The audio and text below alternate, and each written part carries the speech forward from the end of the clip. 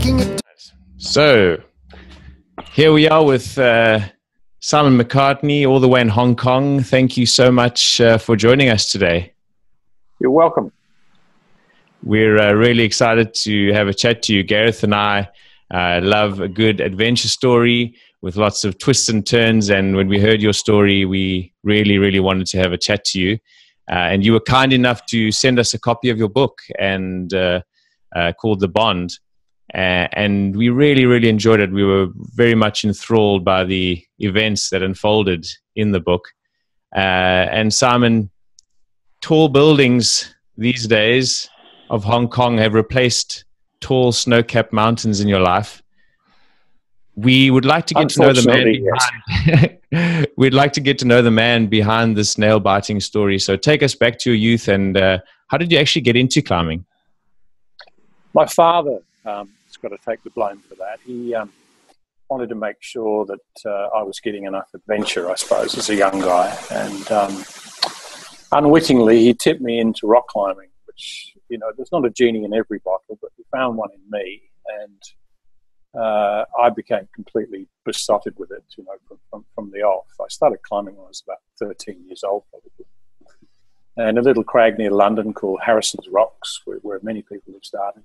Um, small, grotty sandstone cliff, but, but very, you know, athletic climbing. And um, it changed my life as a kid. You know, I didn't hang around and play football at weekends with my pals. I, I, I went to North Wales to Scotland if I could get there, or you know, as far away from my home in London as I could manage.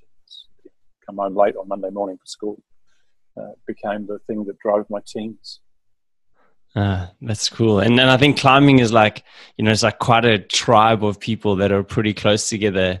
Um, how did the older guys take you in and, and was there much banter between you and them? You know, it is very tribal and, and alpinism still is. I mean, climbing's huge today. It's quite a commercial industry almost, but uh, at the, the, sharp end of climbing, it's very tribal. And um, yeah, there is that. You know, I, I, managed to persuade my dad to send me to North Wales at the age of 15. I went there for the whole summer, and I wound up, you know, being uh, used as a as a belaying device by some of the hardest, you know, mean rock climbers in, in Llanberis, uh, you know, who, who, would always make sure that I was all right, and uh, you know, didn't get thrown out of the pub for underage drinking, and you know, one by one they dragged me up the hardest climbs in North Wales. So it was a great education. It really was a lot of fun. I got to see um, things that I might not have for years were it not for that happy sort of crazy summer. Wow. And now the I guess you must have met a lot of interesting characters along your way as well. But why is climbing considered to be a sort of a cerebral kind of a sport? Well, you know, you can kill yourself doing it, and it's a question of skill avoiding doing that. Um, and it's as much a mind game as it is a is a physical game. And obviously, you need to be strong, you need to be agile, but you can assume as much risk as you, as you want or not. Um, and you know that's the game you play in your head. You know your hands and feet. Well, that's just the physical thing, but it's whether you're prepared to commit yourself to um, to the next hard move, not knowing how it will turn out. Climbing, you know, then was very different than it, than it is popularly now. Uh, we never used expansion bolts or pitons in Wales, you know, and you could fall to the ground if the equipment you were placing didn't work for you. Whereas today, most climbing is sport climbing and the risk of injury is, is absolutely minimal, if not non-existent, really. Um, so we were what we call trad climbers these days. We didn't have a word for it. We were just climbers. And we were prepared to take risks, and mm. we did. Yeah, that's that's, that's, yeah. that's the game. There's also the one-upmanship and the rivalry that goes with it. You know, it's quite a complicated game. Yeah, it certainly is a treacherous thing when you when you're looking at it from the outside that's for sure and i was listening to your uh, podcast that you did and i was like so intrigued by it and but also like i'm like i get so like nervous just listening to to some of these adventure stories but simon it's actually quite nice maybe to just provide a couple of definitions like around so climbing so there's a difference between rock climbing alpinism and mountaineering is can you distinguish those for us please yeah, I mean, uh, to be a mountaineer, you need to be able to do everything. um, because you'll encounter mountains that are made of ice and rock at high altitude. You need all of the skills. Um, but some people choose just to be rock climbers. You know, there, there are a whole tribe, another tribe, you know, in, in California that like to climb in Yosemite Valley in the sun, you know, and they're incredibly athletic, but they don't really put themselves at any risk of being frozen to death or, you know, it doesn't get mm. cold there. You know, so they're, they're rock climbers that become specialists. To my surprise, you know, bearing in mind, I, I walked away from climbing in 1981 and never looked back until circumstances caused me to write that book. So I got a 30 year uh, coma, you know, and I, I came back to climbing, seeing changes that, that just horrified me, you know, that, that, that there are people now that say, oh, I'm an ice climber. I, I'd say, say, what? You only climb ice? Like, what do you do in the summer? You know, um, and that's how it's gone. It's gone very fractured and, and specialized. Uh, you know, I, I never thought to regard myself as anything other than a climber. I could do anything. That's what I wanted to do. Yeah climbing in big mountains in Alaska, for sure, you have to have every skill available to you. And, um, and just survival is, is one of those. yeah. I guess the, the, the you would have considered yourself just a mountaineer then. You you were taking on whatever was thrown at you and yeah, I mean I love rock climbing. It was fun and it was competitive. Um, and you could certainly hurt yourself back in the seventies and eighties. Um, but for me, it was always just training for something bigger. You know, in the end, it was the big mountains that really bit me, and uh, you know that's where I wanted to go. My first summer in the Alps in 1977, I went. Oh, 76 actually. I went, yeah, this is it. I want to climb things that are, you know, 12,000, 14,000 foot high, and I want to spend the night on them, and I want to be tested in every way. Um, you know, you, you do it three or four ice climbs in a row. I Think, well, now I want to do a rock climb. You know, it's it's, it's that's what it was. So yeah, I learned to climb ice in Scotland when I was a teenager, um, and that was just a skill that I put to use on, on much bigger mountains later on. Hmm. And what was the climbing like in the UK actually? Sorry, yeah. The soggy. Um, the weather's not so great in the UK, and, and most of the mountains are, are rain magnets. Um, Scotland was always always the worst, and I think it put me in great stead because you, know, you drive all the way to Scotland, and the petrol was expensive. Um, and the weather would be foul when you got there, you know, because the weather forecasting wasn't great. So we just used to go climbing in storms anyway. Um, and as a consequence, became very good at, at, keeping warm when it was extremely windy and cold, and also began to navigate really well um, because we had to. Um, you know, Scotland's you might think, well, not a dangerous place at all, is it, Scotland? But the weather in uh, in Glencoe, you know, if it really goes bad in the middle of winter, can be horrendous just finding the road, you know, that you started from could be an epic. you know, I really think that stood me in good stead. You know, we rescued some people in uh, 1970, uh, 1977 from the top of Mont Blanc, and it was in a howling storm. And you know, it was just that Dave and I were that familiar with being in dreadful weather that, that um, it didn't phase us much. So, so, Simon, just uh, just before you get onto that that mission, that rescue bit of the rescue mission you did now, but can you can you just tell us a little bit about where this determination within you came to do these climbs? Like, and you know, because it's, I guess, as a youngster, like this is these are hard things to do. So, you know, what was it like? Your upbringing that brought you know made you like this? I don't know. Um, obviously, my father was a great influence. Mean, he used to take me to Scotland, and we would go mountain hiking, you know, from the age of about 11. But it was pretty gnarly for 11, 12 year old, you know, to, to be out 30 miles you know, in a day, up and down. Um, so, you know, he was he was a pretty tough guy, my old man. Whether it came from there, but I don't know. Uh, obviously, I'm determined, um, and you have to be. Um, otherwise, you well, if you weren't determined, you wouldn't be a climber. I don't think you'd find something else to do with your, mm. your life. Yeah, yeah. So I've, got, I've, got, no real clear answer for why I am like that, but I'm just a pig headed or stupid. an equal amount. Won't back off. Oh well, but well, we're glad you are because you have a great story. So that's, that's and you you spoke now about uh, climbing uh, Mount Blanc, and uh, that was I think in preparation for another mountain that you were going to climb. But uh, when you were in on Mount Blanc, it ended up being a bit of a, a, rescue mission of sorts, didn't it? Yeah, I was climbing with a guy called Wilco, Dave Wilkinson. He was much more experienced than I was. But there again, I was you know, younger and fitter. You know, so we made a very good fit. You know, he had the brains, and you know, he'd let me out of the, the box like a trained monkey if we got something that was really athletic. You know. um, I enjoyed his company enormously, and um, we had a fantastic season. We tried to climb the north face of the Eiger, but the weather wasn't cooperating. Um, you know, to have done that as a, as a 19 year old would have been quite something then. Um, and we found ourselves, uh, you know, in Chamonix, we made many climbs, and the last one we did was a, a second ascent. Um, Chamonix has been popular for a very long time, and Mont Blanc was climbed hundreds of years ago. Um, so all of the good stuff's been climbed. You know, any unclimbed ridge or you know gully that has beautiful walls, you know, someone's done it. So we were resorting to making second ascents of things. We made the second ascent of uh, the central pillar of Brouillard, uh, which was a magnificent rock climb, but it finished uh, up a ridge to the summit of Mont Blanc, and you've got to cross Mont Blanc from the Italian side to get down into France. Um, all mountains have an easy way up, usually. And the trick is to climb the hard side and then go down the easy way. So we were headed for the, the tourist trail, basically. And the weather went went to pieces on us on the last day. I mean, a really, uh, a really big storm kicked in. Uh, you know, maybe 60 mile an hour winds and hmm. total whiteout, snowing and so on. Temperatures dropping. Of course, the wind chill becomes incredibly serious. You know, it might be minus, only, might only be minus 20, but if the wind is affecting that, it, will feel much colder. And we found six people. We found two um, two Austrian people who dug a hole to get out of the wind. I only just passed by them by pure luck. Mm. And they heard, heard heard me coming shouting between Dave and I because we were you know navigating using the compass and the rope.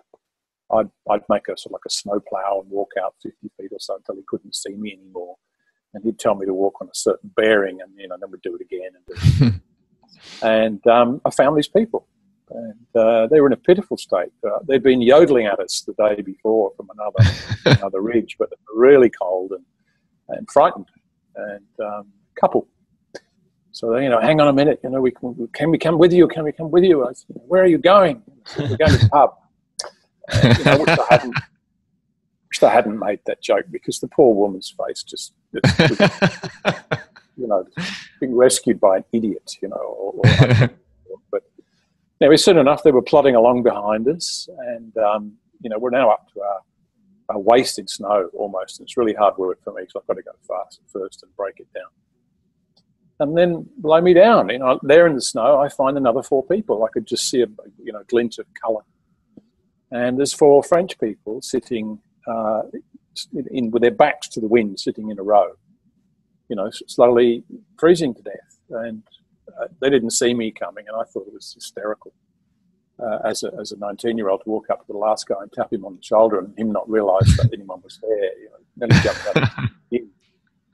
and you know, oh, where are you going? We're lost. We're very cold. You know, in French, all this is going. on. My French is pretty terrible, but we can talk about things like that. You know, where are you going? So I tried the pub joke again, and he got this time. He got it. You know, I named it. and, he said, "Oh, you know the way?" And I said, "Mate, it's on the map. You know, really, come on, just go." And then we had an anxiety attack on top of the mountain. I found the summit, and I just wanted to make sure sure that it was really the summit because it doesn't have any marking on it or anything. It's pretty featureless round dome.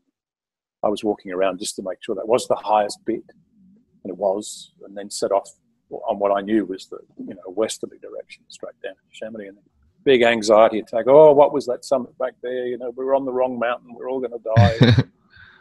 And Dave pulled them all together. He just, just wouldn't have any of it. He said, look, you know, you can stay here and die. You can come with us. And that was the end of it. Hmm. that was the language. They followed us. um, and we found a hut that we were looking for without much uh, ease. Actually, it was very hard to find it, but we did. And dragged them all indoors. And it was full of British soldiers when we got there, uh, which was amusing and ridiculous all at once. anyway, luckily they had um, army rations and they had too many of them which was good because we were stuck there for four days. Wow. Uh, while the storm blew itself out. And no one would leave the hut afterwards because they were afraid of avalanche dangers. So Dave made me do it. It was all right. it was all right. But um, yeah, it just occurred to me that we probably saved their lives.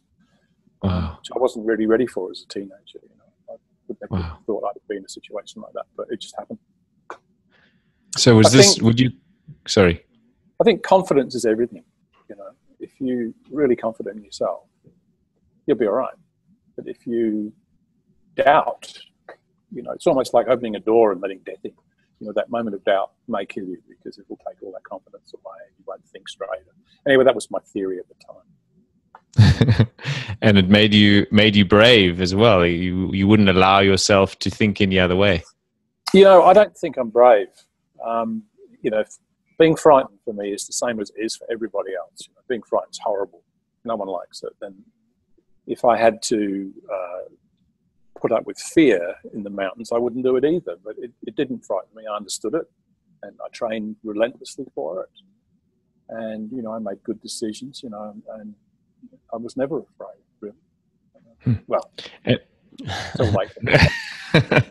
and that point in you, you know, where you rescued someone, you were you were obviously young, and you were here. You are rescuing, uh, saving people's lives. Was this a sort of a turning point in your climbing career? No, not really. I was too young and arrogant. Um, you know, maybe it was a progressive step in my learning, but um, no, you know, I was so full of myself as, as, as a young man that, that, you know, I'd almost instantly forgotten about it when we got down into the valley, and I was interested in the next thing. You know, what was going to happen. I'd always be the last to leave any party. You know, but, you know obstinately um, uh, hoping for, for more fun you know, than, than I'd had already. so, uh, so you mentioned a pub there. I think it was a, a, fateful day in a local pub in Chamonix when you met a guy called Jack Roberts. And, yeah, it was. And uh, Jack persuaded you to join him to climb some of the most treacherous mountains in the world, uh, specifically Mount Huntington in Alaska. Um, mm. And but before you actually uh, got to that mountain, uh, you spent some time in California preparing. Um, how was uh, California and sort of what was the pre- preparation like to get you fit and ready? Well, um, Jack and I got on really well. Um, we were like catnip for each other in certain ways. You know, we similar sense of humour. Jack was very mischievous. Uh, he was always trying to fix me up with women as well, and you know I was still a bit shy when I was only 20, 21. So California was was just wonderful. I mean, it's it's different now. I mean, the, the attitude. I don't find the same happy-go-lucky atmosphere in Santa Monica today as I did then. Um, but we had a ball. You know, we we we trained really hard all day. Um, uh, you know, run and swim and go to the gym and then go rock climbing and then hit the pub. We do this relentlessly, and it was just a fabulous way to live your life. Jack was a very good rock climber and um, quite famous even then. And uh, he knew that I wanted to go to Yosemite Valley. It's the the altar of rock climbing in, in, in America. You know, it's a 3,000 foot high cliff made of beautiful granite. You know, it's, it's sunny, just paradise, really.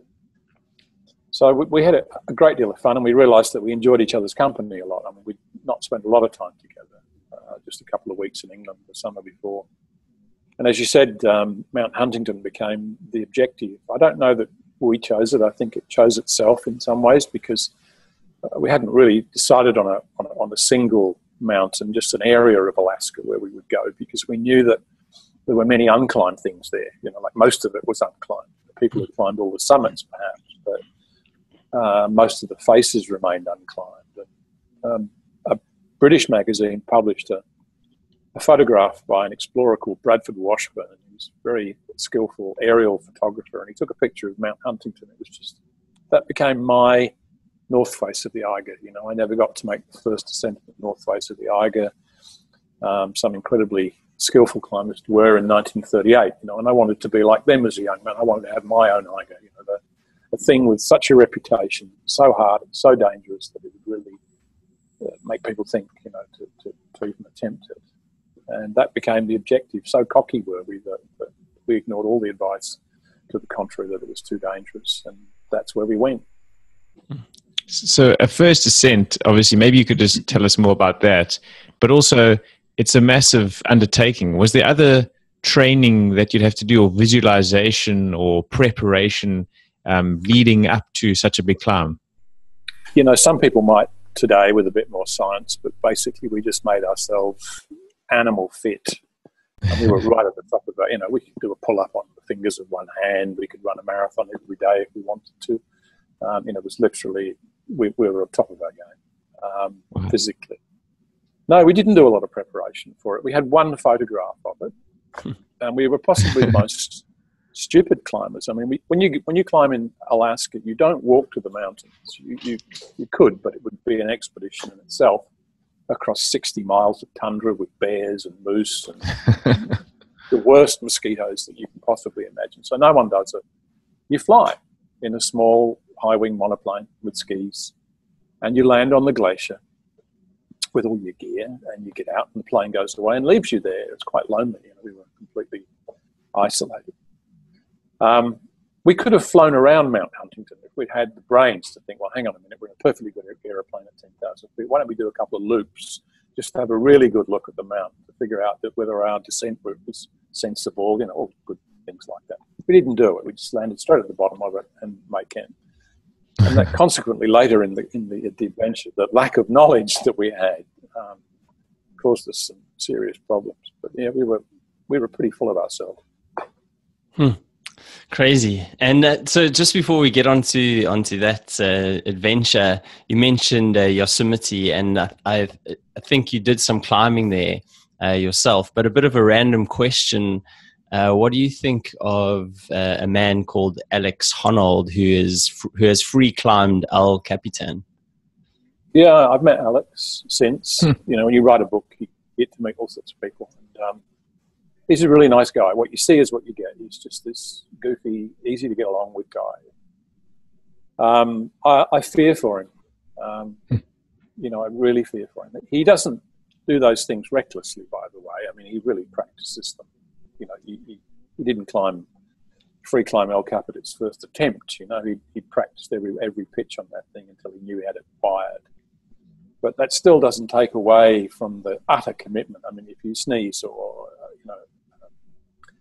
some minor mishap that you didn't see coming happens, uh, then you did. You know, and you'll have a long time to think about dying falling off El Cap because it takes quite a long time to fall 3,000 feet. So, yeah, he's very impressive, um, but I, I, worry about him. It, it, it's. I watched his TED talk and I was like, oh, so nervous just listening to him yes. talk about uh, about it. But I mean, there must be so much technicalities involved in that sort of climbing. Like, like you said, if you sneeze, you could probably fall off. So the way you breathe and um, I don't know, just you know how you use your body is, uh, you know, is that sort of stuff that you guys did in your day? Oh, it's no different from just just normal rock climbing. Only, only, you know, all of those things that do, the state of mind you get into, the the way you move, the way that you think, the way you breathe, um, all of that happens in difficult rock climbing anyway. It's just that we take some protection. And, you know, the thing that's going on in your head is, you know, do I feel comfortable uh, with risking falling off at this particular point? You know, am I close to a piece of equipment that's going to stop my fall? And if I'm not, then I'll think long and hard about it. Alex doesn't have that luxury, you know, he's completely alone. he certainly seems like a super nice guy, and he's also quite the pioneer in the in the van life. You know, he's you know he he lives out of that oh, van. I think that's common um, amongst climbers. I know many yeah. others that have very nice vans, and they travel all over the USA and live in them. And uh, he's just one of those. The only reason they do it in Yosemite is that you're not allowed to spend more than a week in Yosemite. There's a rule because it ah. gets so many tourists that he has to sleep. He has to leave Yosemite every day and sleep in his van outside because if he enters the ah. park, he has to leave seven days later. You know, oh, so it makes a lot of sense. Ah. So, so now coming back to your, your climb, so you, you get to Anchorage and you make your way to way to, to Talkeetna, um, and obviously this is quite a foreign sort of a place, isn't it? What, what was Talkeetna like? Oh, it's like being in a Western movie. You know, it's it's it's just has that Main Street, you know, Western town feel about it. There are more dogs than there are people, probably. Um, you know, it's the end of the road. By the way, Talkeetna was only there because they built a railway bridge over um, over a river as part of the Trans Alaskan Railroad. It's got no other reason to be there. But climbers uh, use it. Um, it's got a pub that's been there or a bar that's been there since about 1920 something. It's still standing mm. called the, the Fairview Inn. Um, and they had live music there every night of the week. You know, the, the Alaskan Bluegrass Festival was on when we were there. I, I, was immediately in paradise. There's a roadhouse that's still there. It hasn't changed much at all. You've got these huge breakfasts. You know, everything you've seen good about a, a Western movie is, is Tucky. Cool. Uh, I, I loved it there. And um, they have an airstrip in, just off the main road. The road, the, the main street of Tucky, there is like a, maybe maybe two lanes wide, but it was dirt. And then at clearing in the trees, there were two airports there. One of them is just a piece of grass, and people are taking off right by the side of the road in, in super cubs and things like this. Um, so the atmosphere is really quite special. Um, we had a very good time. I can't wait to go back. It hasn't changed much at all. Oh, cool. Wow. So, so you mentioned airstrips, and and I think you from that from uh, Talkeetna is where you took off uh, to uh, Ruth Glacier uh, hmm. in a tiny Cessna, and I think you had your first sighting of uh, Mount Huntington, um, or or at yeah. least one of them. What did that feel like? Well, it was. We realised. Well, it, it was awe-inspiring. I mean, that's an over overused phrase, but um, I can't think of anything else the mountains are so precipitous um, and so impressive, and you're flying in steep-sided glaciated valleys um, mm. at an altitude which is maybe 5,000 feet lower than the peaks around you. Jeez. So you're really flying in 3D. And um, we landed on the west fork of the Ruth Glacier, and we, you know, we could see Mount Huntington. Um, our first reaction was the same for Jack as it was for me. That's much bigger than I thought it was going to be. You know? just feels a lot bigger than, than we'd seen, you know. Uh, it's 5,700 vertical feet from the glacier to the summit, um, uh, unclimbed. Wow. Quite a, pro- quite a project. Goodness gracious. That's either. Sorry. Yeah, I was just, it's a sharp landed the plane. You know, that was exciting. I'd never been in a small plane before. Um, and uh, skidded to a halt and we unloaded the little bit of expedition gear we had. And he, he left us and that felt lonely seeing that little tiny speck of a plane disappear around the corner and hmm. be gone. But a great, I mean, it's great. You can't do that in the Alps or anywhere. You can't be alone. You know, we really enjoyed the solitude of it. Yeah, and you can't do it in the Alps because there's just so many other people. Oh well, you're so close to you know that you can see villages from every peak you stand on top of Mont Blanc, I can see Cervinia, I can see Courmayeur, I can see Chamonix, I can see Les Houches, I can see, you know, they're all within walking hmm. distance mm. almost, you know. So, um, whereas in Alaska, you're alone. This, this, to get to the end of a glacier would probably take you weeks, maybe, you know. Uh, and then you've got 60 miles of grizzly bears, moose, mosquitoes, snakes, and dangerous rivers full of freezing cold water to wash you away. You know, um, so really, it's it's a different feeling. It's like being on the moon. Wow, and that obviously adds a layer of of danger, but also I would imagine excitement and and uh, adventure to it. Oh yeah, I mean, climbing in the Alps is fun. I would say, but you don't ever feel like you're doing anything particularly might be very difficult, but you don't feel committed. You know, you could. I mean, North Face of the Eiger is a good example. I mean, you, are when you walk down from that thing, you know, you're half an hour from a hotel. um, you know, we're, we're, a long way. We're, we're, a plane ride away from a hotel. Wow. And did you and have any encounters with, like you said, the mozzies and the bears and stuff like that? Did you ever have no, any of those? No, but mosquitoes, yes. I mean, they're terrible in the spring. Um, I've never seen a bear, and I'm glad quite worried about this. They say they won't attack, the bears won't attack groups of, of four people, but it was only me and Jack, so you'd be a target out for some reason. And they're dangerous. Anyway, I've, I've, lots of documentaries about bears, but I, I had no interest in seeing one or, or I have friends that go, you know, go hiking in that part of Alaska. They always take a gun, and I, I could never take a gun. I could never shoot it, so I just don't go. Mm. And I guess you're pretty conspicuous in your bright uh, climbing gear as well. The bear would see you pretty far away. Miles away, probably smell us miles away. Yeah. So you had um, quite incredibly 20 days of snow and bad weather. Mm. um, bef- before you had a sort of a window to start climbing. Um, what do you do at the base camp while you sit there and wait? Well, you read a lot. Um, we built this huge ice cave, which was a distraction. The, the tent Mhm. became useless. It would, it would snow enough in a day that it would, would bury the tent completely, and you know, it means you've got to get out all the time. Unbury it, it means you can't get any rest. So we built a snow cave, a small one at first, and then it got bigger and bigger and bigger. Then it became a condominium with separate bedrooms. Uh, you know, that was our place to hang out. For a while, we had some visitors nearby. There was a, a very famous climber, Charlie Porter, and uh, his partner. And um, they didn't manage to climb anything, and they had a falling out. And in the end, they split up and so on. But Charlie was a very fascinating guy, you know. So we, we would have dinner with each other, you know, to pass the time, having conversations. At least it wasn't just Jack and Jack and me talking to each other all the time. We had lots of books, you know. We, we deliberately brought really heavy stuff like Mervyn Peake and things like that, you know, things with thousands of pages on them. And you know, then we'd have our own little book club and discuss, you know, what we thought about them or you know anything. to pass the time.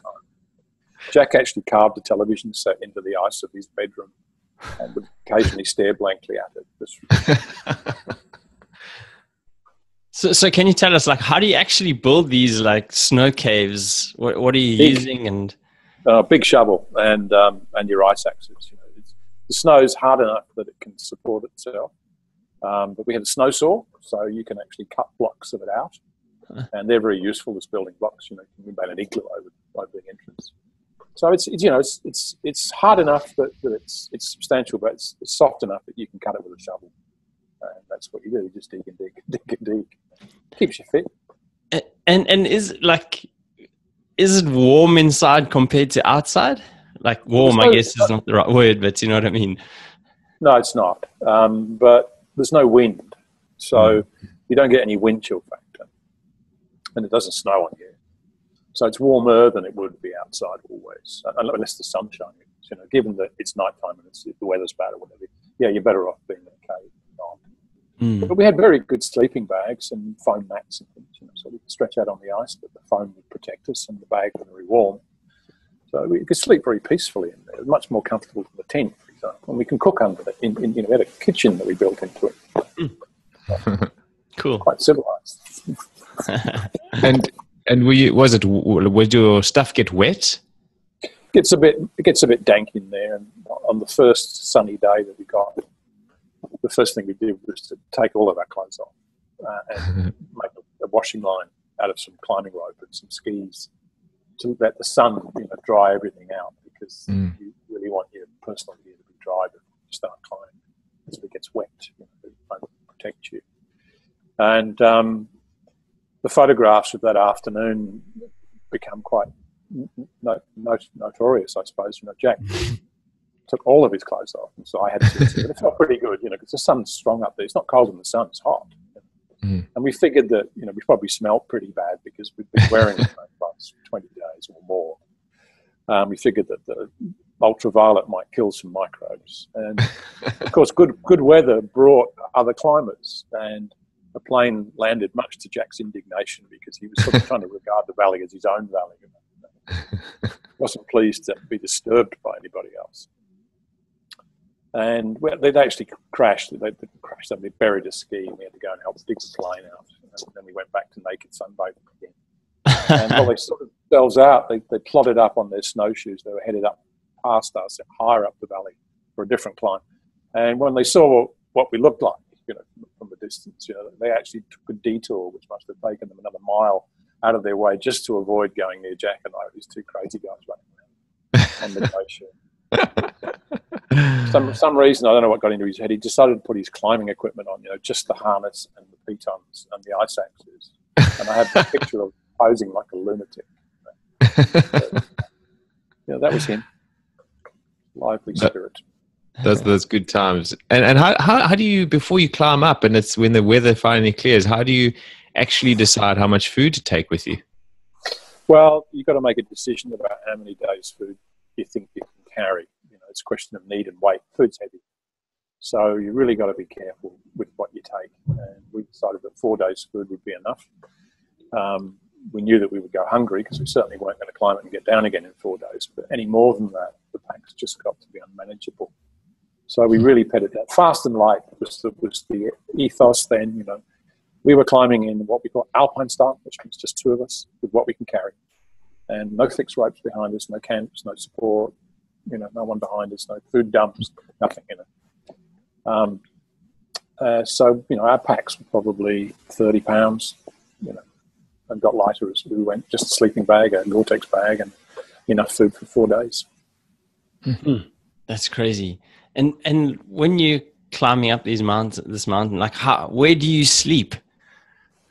Well, we didn't take a tent because the, the, the mountain was too steep. We knew the tent would be useless. Um, north face of Mount Huntington is really hardly ever less than 70 degrees uh, hmm. in angle. So what you did, we, we slept in a crevasse the first night. We actually found a crevasse on, on, on a hanging glacier on the face that we could climb into.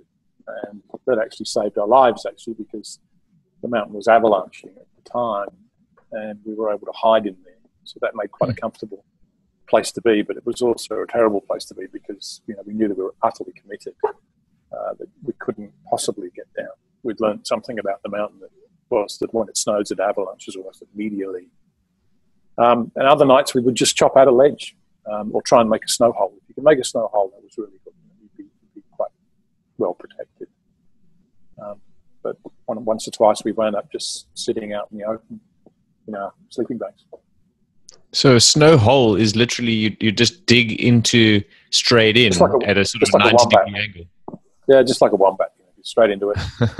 uh, dig with dig with your front paws, push back with your feet, get in as far as you can. You can hit ice and rock at some stage. When you do that, turn left or right, you know, so you can continue to make the hole. It's big enough for two of you. And it's a, very, it's a really good technique. You've got much snow for it. The snow hole's great. It's, it's wow. comfortable, dry, nothing falls on you. It's, and you're out of the wind. So, so is your head in towards the mountain, or out, do you turn around with your head out, or how, how do you end up sleeping? Well, Jack and I wound up having to make a, a snow cave to avoid another avalanche on the second day. Um, Jack got knocked unconscious by a snowslide. And we had to dig in very quickly to save our lives to get out of the this washing machine of falling snow. You know, it's people think snow's not very heavy, you know, but when you you get enough of it, it's like being hit by concrete. Um, hmm. so, so we dug a hole, and to answer your question, we had to go in it because we couldn't get in very far. We had to go in and then to one we turned right. So we made a very long, thin snow hole, and I went in feet first, and he went in head first. So at least we went head to head, so we could have conversations. And we cooked in the middle, in between us, so we could, you know, it, it made sense. You know, put the put the stove in the middle, and you know, we could talk to each other easy enough. And and how do you actually generally cook on a mountain? Like, how, how do you not let everything fall down and burn yourselves, or uh, you know? Oh, you got to make a little ledge of ice or rock or something like that, put the stove on it. The stoves we were using burnt stuff called white gas, which is not quite kerosene and it's not quite petrol, it's some, somewhere in between. And they're very hot, very lightweight, but extremely powerful. And uh, yeah, you've got to be careful you don't drop things. You know, it's a favourite goofy thing to do to knock the tea over or something. Yes, it's, it's you can't find somewhere to put the stove, then you'll dehydrate. You know, water's really important. You've got to drink at least four litres of it a day at, at that altitude. So, Sam, maybe you can give us a bit of an idea of what this climb was like, like on the way up before you, you, well, got hit by an avalanche, a couple, a couple of them by the sounds of it. Well, it was, looking back on it, it was stupidly dangerous. This, this mountain has a, a, a thing called seracs, and seracs are like huge bits of ice that break off. So when you snow snows on the mountain, it compacts into a kind of ice, and then gravity starts to get hold of that, and it starts to slide down like a glacier traveling down a valley. Only it's on the side of the mountain, and when it gets to a change in angle or anything like that, you know, thousands of tons can break off and fall. And we knew that we would have to climb underneath seracs for the first day to, until we could get past them. Um, so it was a bit of a lottery, really. The, the climb was technically very difficult at the bottom too. You know, it was a, a rocky band of about 1,500 feet that we had to climb. Um, and we knew that if we could get past that, that the climbing would be much easier, so we thought, um, and less dangerous, or so we thought. but it turned, didn't quite turn out that way. So we had this major objective on the first day, which was to get a, get out from underneath this this uh, sword of Damocles that was hanging over hmm. us. Um, and we thought that the climbing afterwards would be straightforward, but it wasn't to be that way. Yeah. Uh, we'd picked out a feature in the upper part of the face, which we called the ramp. Uh, we'd borrowed a name from the north face of the Eiger because there's a ramp on the Eiger as well. I tend to sort of steal those names that we used. and well, we can get in the ramp, you know, we'd be fine. It was like a, a road to the summit. Um, but we couldn't really judge the angle, and because we hadn't flown around the mountain, like I said in the beginning, it was much, much steeper than we thought. And uh, we spent four days uh, climbing the north face of Mount Huntington. Hmm. We'd expected to spend two. Hmm. So we, we eventually reached the summit with no food at all, no, just enough fuel to make water. Crazy. And then how do you actually get down? Because I can imagine that's not exactly easy. Well, this is the bit that I'm not terribly proud of. Um, we thought that we could climb down the northwest ridge because that was the first way the mountain had ever been climbed. And usually, the first ascent of any mountain is by the easiest route. It's logical. Turns out the northwest ridge is not the easiest way up Mount Huntington. It's absolutely hideous. And in Alaska, you get these incredible snow formations, like huge snowy mushrooms that form uh, on ridges. And you can't climb them because they're not substantial enough to, to, to, to get any purchase on them. But they form overhanging and collapsing parts. You know. We started to try and go down the French Ridge and realized that it's going to be impossible. We've made a huge mistake thinking that we could do that. So we were forced to take uh, I actually fell through one of these snow mushrooms and injured my hmm. ankle. I was trying to find a way around it and it collapsed underneath me and I wound up back on the north face. Um, luckily, Jack stopped me on the rope, but I twisted my ankle quite badly. And I got back onto the summit. You know, we had a little council of war. Well, he had thought that he knew that the west face had been climbed a few times and it had been climbed recently by a Japanese team that had sieged him by siege climbing, I mean they'd, they'd fixed ropes on made camps and so on. Mm. We thought if we could find that, we'd find a way down. And that was all going quite well. You know, we climbed down a, a big ice field and then we found the first few pitons, you know, the other climbers had left behind and started to follow those, uh, abseiling down our ropes. And, and we had a tragedy. Um, I abseiled over a huge overhang. And Jack followed me. And then when we went to pull the ropes down, they wouldn't come uh, hmm. that got jammed. Mm. And try as we might for half a day, we could not get those ropes unjammed, and we weren't able to climb back up them because we didn't have any gear to do so at that type. So we wound up with not having, you know, 200 and, or 260 meter ropes. We had one piece of about 80 feet, and we were uh, halfway up the, you know, second hardest route on Mount Huntington. And hmm. in 54 hours, uh, we had to climb down and couldn't rappel down. We had to climb down climbing down is really difficult compared with climbing up. And as we went, we managed to uh, souvenir some bits of old, you know, ratty rope, cut them out of the ice and tie them together. So it's kind of a washing line, the knotty rope that we used to get off. Uh, in one push, uh, we got down. We didn't feel like stopping. We just got all the way to the bottom. And, uh, but they didn't really finish the adventure then because we were on the wrong glacier, you see. There was a ridge between us and the Ruth Glacier. We were on the Tokositna Glacier. So although we'd survived the mountain, we now found ourselves separated from our uh, you know, rescue or our self-rescue by another another ridge of 1,500 feet, hmm. maybe, of ice and rock climbing we had to overcome to get down to where we'd started. So we were properly tired when we got back. It was about nine or ten days round trip. with five days without food. Five days, like goodness. What's going through your mind and body when you haven't had five oh. days of food? You, know, you, just put up with it. There's no point in, in agonising over your situation. You can easily do it if, you, if you're properly hydrated. You can not eat for five days. It's not not really a problem. Um, I mean, you get pains in your stomach and all of that, but it's it's not. You know, when you've got no choice, it's easy, isn't it? Um, yeah. and we had no choice. Uh, no one even knew where we were. So, so, you just get on with it. And, and are you you eating ice or uh, like you know just is that how you're getting yeah, you, fluids in? We, we, we'd, we'd, we'd stop for tea if we had we had tea bags. I think pretty much all the way down. That was all right. So it was quite a luxury having tea bags. And there's a good thing about that because you can't eat snow all the time, and you've got to have electrolytes in it, and there's no electrolytes in snow. So if your body doesn't have any electrolytes, it can cause your liver to uh, to malfunction. Um, so you've got to have some sort of like you can't drink distilled water either. You know, you've got to have some pollution in it, otherwise, or, you know, minerals or mm. something. Um, otherwise, you know, you.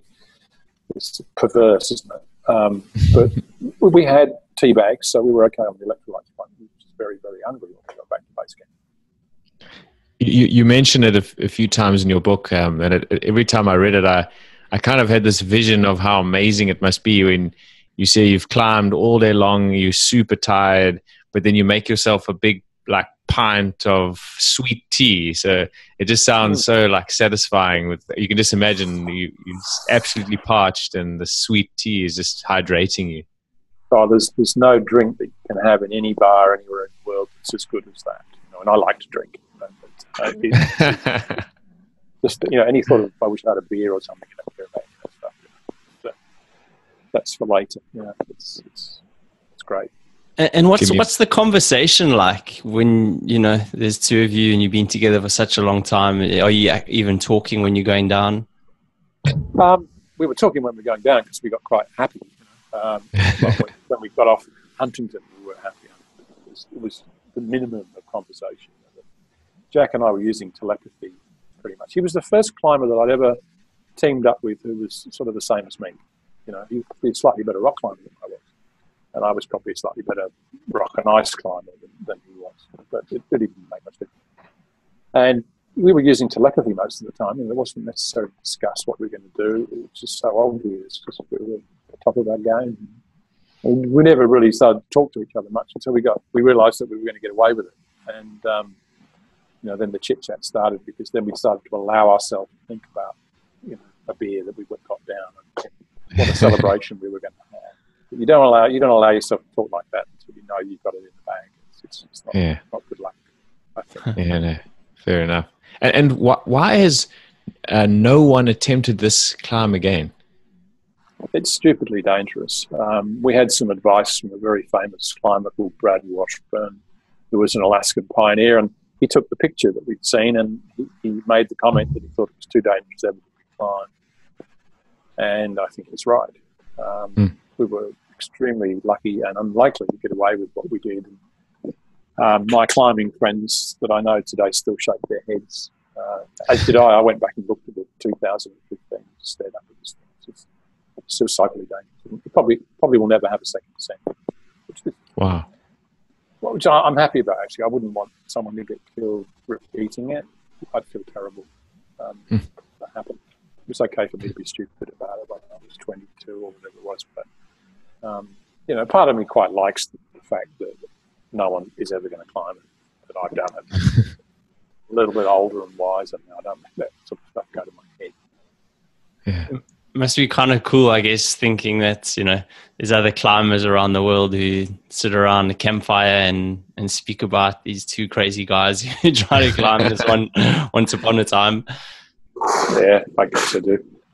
You know, it's, for people who know Alaska, they, a lot of people looked at it for a long time, refused to believe that anybody had climbed it. We had a problem with credibility because it just seemed so unlikely that anybody would be that, you know, that crazy. But um, we did, and I'm glad we did. But it just emboldened us, really. You know, it, it, we got away with this huge gamble, and you know, we were very skillful and obviously very resilient, um, but we'd gotten away with it. And Jack and I felt like we could do anything um, hmm. in each other's company. You know, we, we were so such a good team and so good with each other. You know, total trust. Between, you know, I wouldn't go that far on a limb with anybody else that, hmm. that I'd ever known. He was so dependable, uh, and he felt the hmm. same way. That's cool. Oh. It's nice having that sort of friendship and, and bond with somebody. So, flying back to Talkeetna, uh, you had a bit of a bittersweet moment. Uh, what was your main emotion flying back after summing, uh, summiting Mount Huntington? It's um, it's it's a bit strange, you know. We, I hadn't spoken to anybody else pretty much but Jack for a month, let's say. and then suddenly you find yourself in the space of 45 minutes. That's all it takes to fly from the Ruth Glacier to Talkeetna, um, and there you're back in civilization, if, if can be called that. Um, and you know nothing's trying to kill you anymore. The you know it's not cold anymore. You can do whatever you want, but it feels too it feels too sudden. Uh, you know, it's mm. too abrupt. It's not like that in the Alps because you're never away for very long. You know, an alpine climb takes a few days, and you can see the valley all the time. You know, I think I, as a young guy, I used to hold the record from descending from the summit of Mont Blanc to being in the Bar National. You know, I could do it in a day. Um, so you never felt that that isolated, and it took a day to get used to it. Um, it felt strange, I guess. That there was no preparation for, for, for, for Easy Street, you know, which is what. And you'd you'd sort of felt that there you'd kind of put one beast to rest, and but there was another one sort of in the waiting in the wings. Well, you know, that's who we were. You know, you, you do something that, and you, the first thing you'd think of is, well, after you've had a few beers, something like you start to think about, well, what's next? Yeah. Um, Jack and I went climbing at that time for the same reason. I, I, discovered only in retrospect. You know, we were out there to outdo ourselves. You know, so whatever we'd done yesterday, we had to do it 1.5 times tomorrow. Mm. And we started immediately to, to plot alpine style ascents on, on Denali. Um, but I had I had an ambition that I just had to put to bed, which was the north face of the Eiger, and I realised sometime after Huntington that the only way that I could do that now would be to climb it in winter, because the summer ascent just wouldn't cut it as, as, as an achievement. Much much harder to climb in winter, hmm. and that became yeah. my next ambition.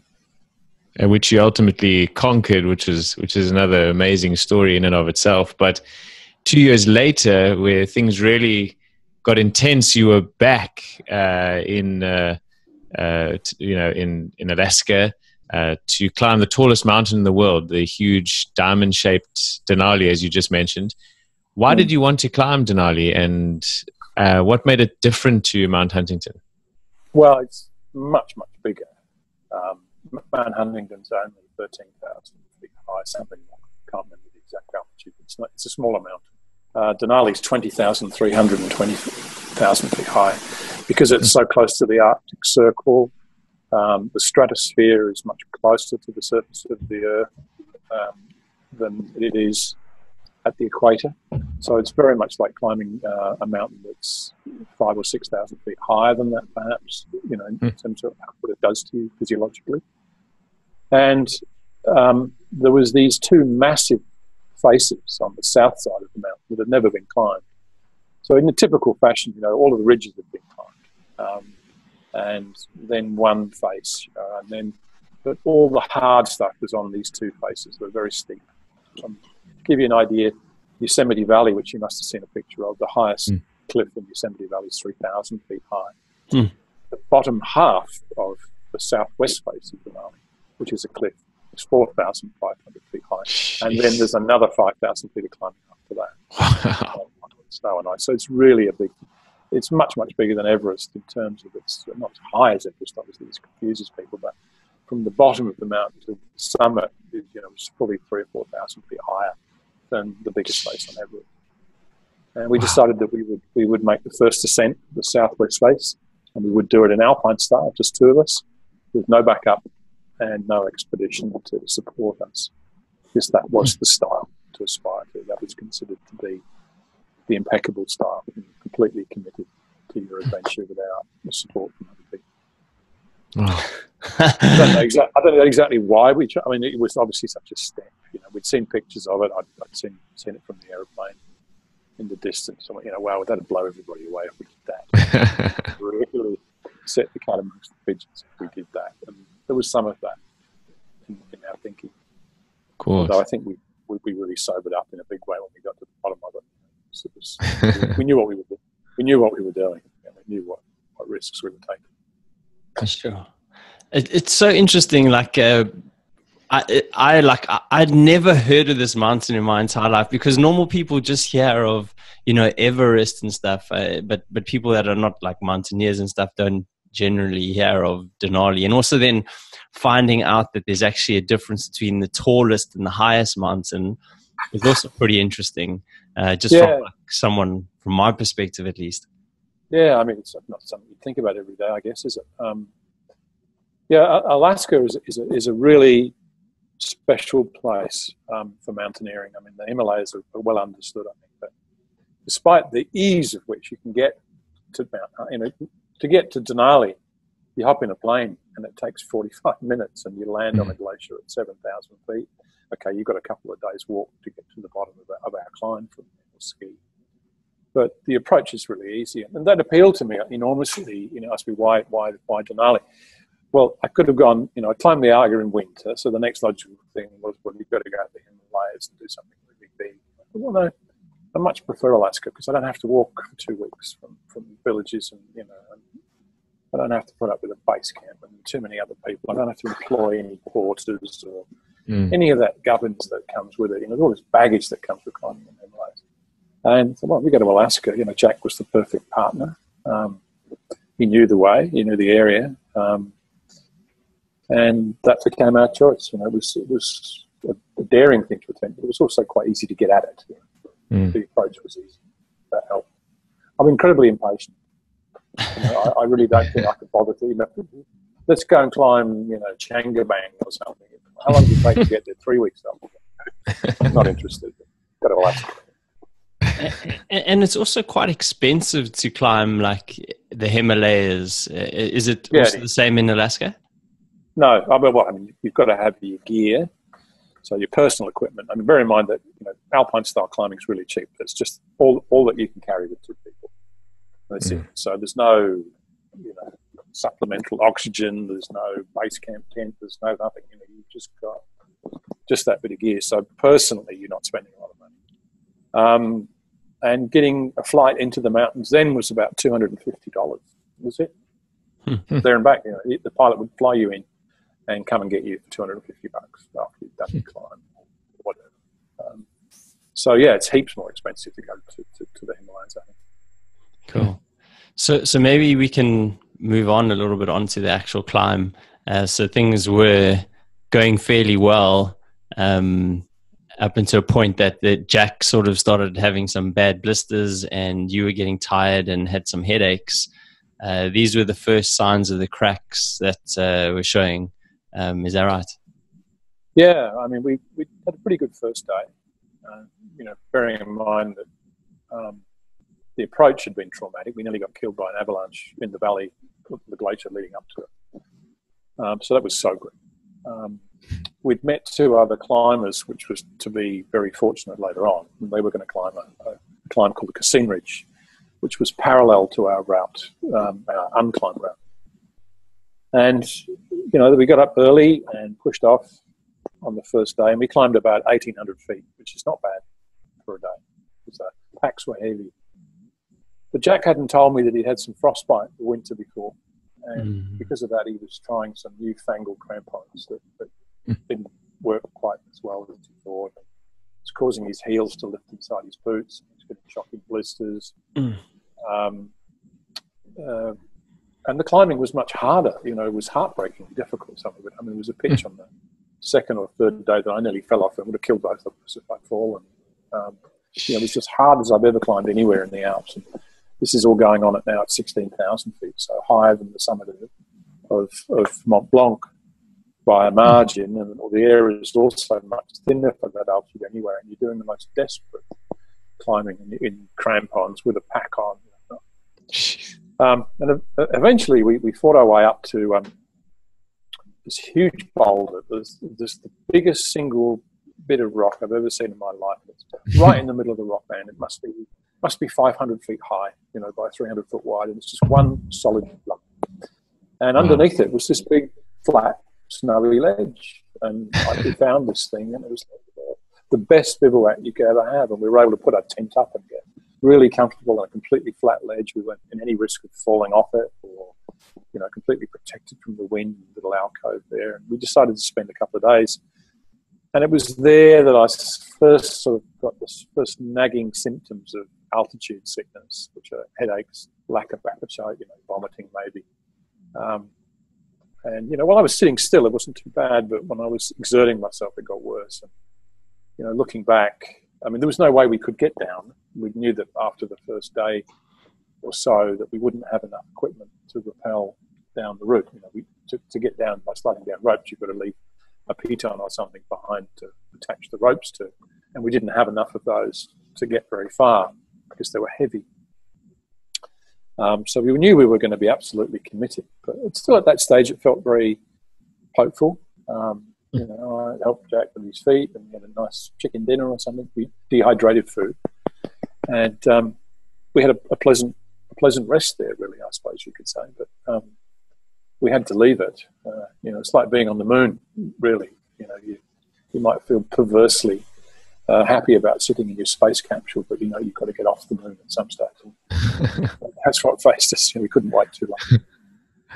I, I can't imagine the feeling of knowing that you've you've passed the point of no return. Like you actually can't climb down from here, so you have to climb up.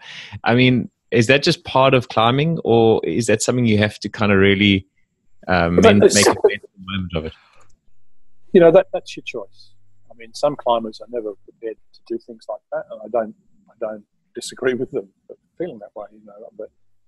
But um, we wanted the big prizes, and that meant making that decision. You know, that there would be a, a cut-off point that you couldn't reverse what you were doing, and um, we were prepared to do it. We were confident enough with ourselves that we, we could see it through.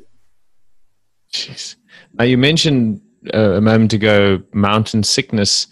What is the difference between mountain sickness and high altitude cerebral edema? And and did you start to have um, all of those sort of symptoms relating to the um, cerebral edema? Well, they are all related. You're right. Um, altitude sickness manifests itself first of all in the form of a headache, and what's happening is that your brain craves oxygen.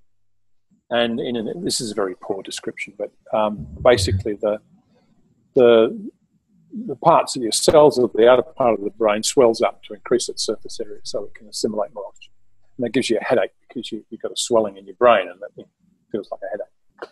Uh, cerebral edema is the extreme uh, end of that swelling process where the intracranial pressure, you know, the problem is you have a skull, so a certain amount of swelling will actually crush the cortex and you'll die. And along the way, the symptoms uh, are progressively like you find headaches followed by vomiting, followed by um, loss of balance or ataxia or com- complete exhaustion, inability to talk, um, and, and then death. And the only way to reverse those symptoms is to descend immediately to a lower altitude. And that wasn't an option for us. So it then became, well, we didn't know what was wrong with me. Jack was fine, but um, uh, we made the only other choice that seemed sensible was was, was hightail it to the summit as fast as we could, knowing mm. that once we'd crossed the summit, the west buttress of Denali is just a walk by, by comparison. You know, it's a serious climb. Lots of people get killed on it, but I mean, it's it's, it's, it's, it's a snow slope um, that you can walk down pretty much. You know, um, and we knew that we would encounter lots of other climbers if we could do that because the west buttress is the popular way. Um, but I got very ill, and um, you know, the onset was gradual first, and then relentless. And um, we managed to climb through all of the difficult rock climbing sections, and we were exhausted, so we bivouacked, um, found a place to put the tent up um, above that, and took a rest day there as well, hoping that I would acclimatise and, and get better. But you know, people know a lot more about cerebral edema now than, than they did then, and we knew nothing about it. The fact once you've got the onset of those symptoms, you will not acclimatise. Hmm. Uh, you know, it's a one-way street. It's, it's, all getting worse. You know, being up there is not helping you um, to get over it. It's making it worse. And hmm. um, we managed to get all the way up to about, oh, like I want to say, 18,700 or 19,000 feet. And we reached the Cassin Ridge, which was the climb that our two friends had been planning to climb. And uh, I collapsed. I uh, couldn't even sit up uh, I was taking a, I was sitting down taking a picture, and I said, "Jack, I can't get up." And he tried dragging me, um, and me crawling. You know, trying. The first thought was, "Oh, come on, we can crawl over the summit of Denali." Hmm. Uh, and get onto the easy ground, but I couldn't even do that. So we had to put the tent up, and we wound up staying, staying several days in, in, in that spot. Um, him with the onset of really serious frostbite, and me descending into uh, near coma moments. Um, we hadn't eaten; uh, we'd run out of food a couple of days before, so uh, we were not only cold and very ill, but also starving. Hmm. And, and were you like coherent at all in this state? I remember bits of it, um, but the answer is no. I don't remember all of it at all. I look at the pictures and I can I can recognise myself in. I was able to write the book only because Jack was one of the, all Americans seem to like to write journals. I there must be something they're trying to do in school or something. And, uh, they all do it. All of my friends do anyway. Um, and he wrote about what was happening, and he was tearing himself to pieces, uh, not knowing what to do, whether to stay with me and die with me, or he tried to drag me over the summit again. That didn't work, and he, he had the most awful dilemma for him to to to stay there and we'll definitely both die, or to try and go for the summit on his own and get down the other side and alert anybody, uh, you know, maybe to be able to organise a rescue. Sounds good when you say it, but reality is that there's no one that was ever going to rescue me. You know, the people who climb Denali have enough trouble getting to the summit, let alone going down the other side you know, to, to hmm. help somebody. Uh, it's just not going to happen. So anyway, he didn't have to. Sorry. Yeah, you know, he he he carried that around with him for the rest of his life. I discovered you know, that that that time, um, and um, he was fixing to, to leave.